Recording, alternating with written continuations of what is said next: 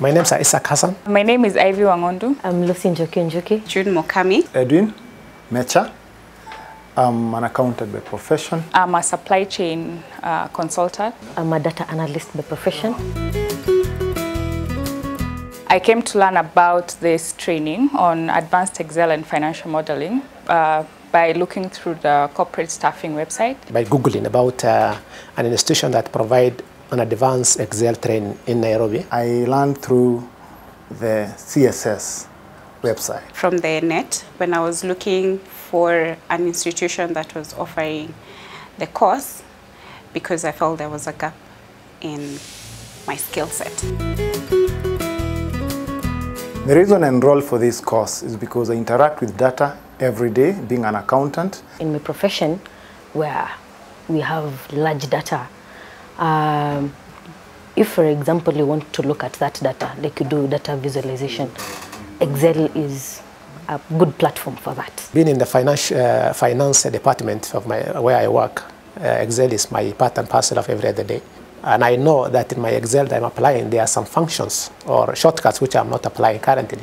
So I decided to have, uh, to employ more of those uh, shortcuts and functions in Excel to be able to advance in my, what do you call, Excel work and um, to be able to be more productive and efficient. I needed to sharpen my use of Excel as a, as a tool in my workplace, especially in data analysis.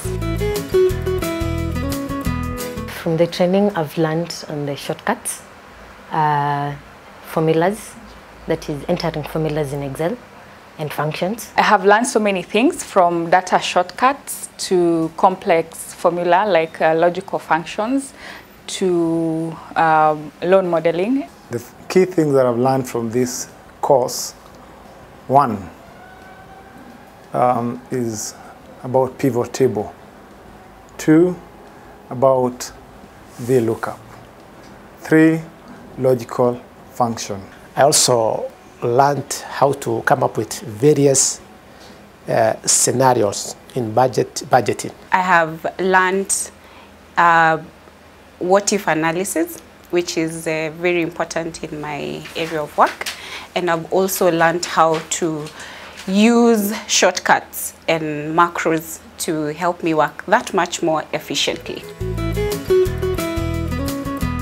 After learning this particular course, what I will, uh, what I will be able to do differently is that uh, I will be able to employ whatever I have learned in this particular uh, training in my workplace.